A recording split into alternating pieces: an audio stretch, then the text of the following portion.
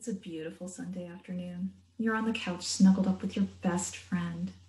All of a sudden, you feel a bump on his side. Where did that come from? Is it cancer? You make an appointment the next day. Your veterinarian aspirates the bump and sends it off to the lab. She calls you later and tells you the kid has a mast cell tumor. Your mind is racing. What is a mast cell tumor? Is it dangerous?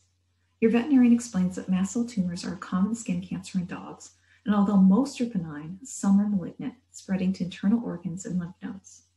Scientists have established a set of microscopic characteristics known as histologic grade that help veterinarians predict how these tumors will behave. Low grade tumors are usually benign and cured by surgery. High grade tumors more often spread to other sites and require a large incision. Unfortunately, to establish histologic grade, Kit needs surgery. Your veterinarian delivers more bad news.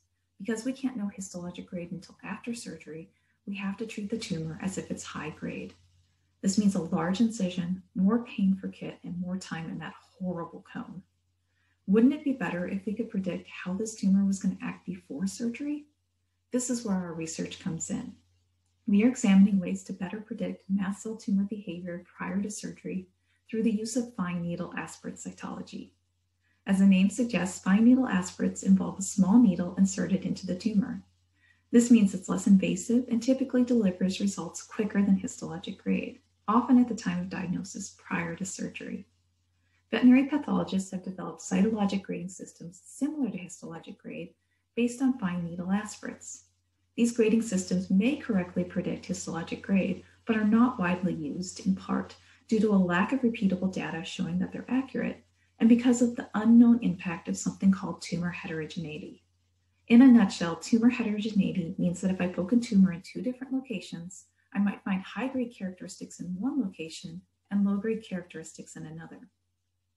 Our study enrolled dogs like Kit with mast cell tumors of the skin. We aspirated several locations in each tumor and established cytologic grade at each site based on previously published guidelines. Our preliminary results support other research showing that cytologic grading is an accurate reflection of histologic grade and thus useful before surgery as a predictor of mast cell tumor behavior. However, in rare cases, we observed different cytologic grades in the same tumor, indicating the presence of tumor heterogeneity. Knowledge of tumor heterogeneity is important because it can affect how accurately we can predict mast cell tumor behavior and the way we diagnose and treat these tumors.